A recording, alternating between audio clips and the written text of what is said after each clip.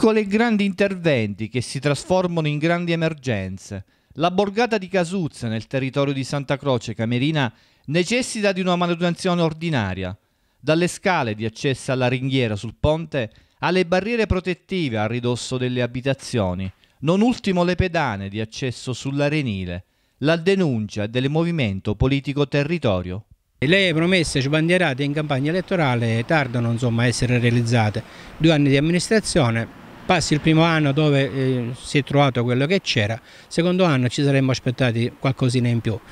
E la cosa in più che abbiamo trovato quest'anno è questa, questo rimballo di responsabilità per la mancata raccolta e la tragedia del, del, dei rifiuti urbani che mm, fortunatamente insomma, la, la, ci ha aiutato la natura portando con, le, con, con gli acquazzoni, portando a mare tutto quello che è rimasto nell'estate e nelle campagne.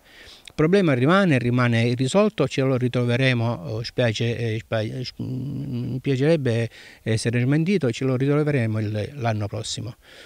Ma basta fare una, una passeggiata anche di, in questo periodo di, di, metà settembre per scoprire cose che magari con la, con la fretta dell'estate non vediamo le strade qua, un coso, eh, delle scale eh, percorse da, da, dalla gente normale completamente che sta, sta per crollare, pericolosissima. Eh, si fa una passeggiata, ehm, una pista pedonale da Punta Secca fino a Casuzza e ci si dimentica questo tratto percorso da gente che va eh, tutti, tutti, i giorni alla sera a farsi la passeggiata nella pista pedonale qua di, di Marina di Ragusa, pericolosamente eh, si, si rischia di cadere giù da un momento all'altro con il ponte che vibra,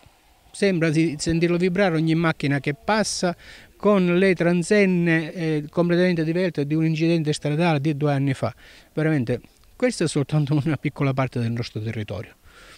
Forse è meglio chiuderci qua, fermarci qua, non proseguire, che chissà quale batosta troveremo ancora in giro.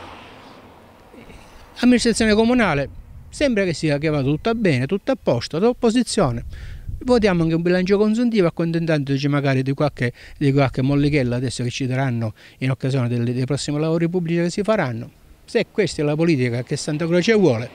che se la tenga. Noi siamo di parere diverso, siamo completamente su un altro, di, su, su un altro punto di vista, altri ragionamenti da fare, se si vuole il vero sviluppo di questo territorio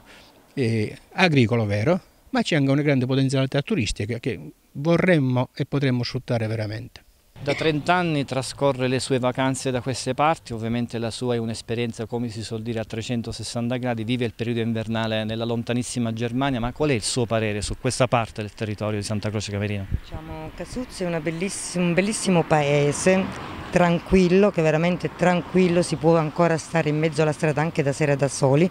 solo la mancanza un pochettino anche di tanti posti che non sono veramente a norma di legge, diciamo questo.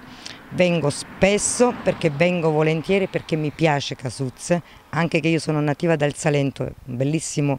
paese, però a me Casuzze mi è piaciuto molto perché ancora ci sono delle spiagge bellissime,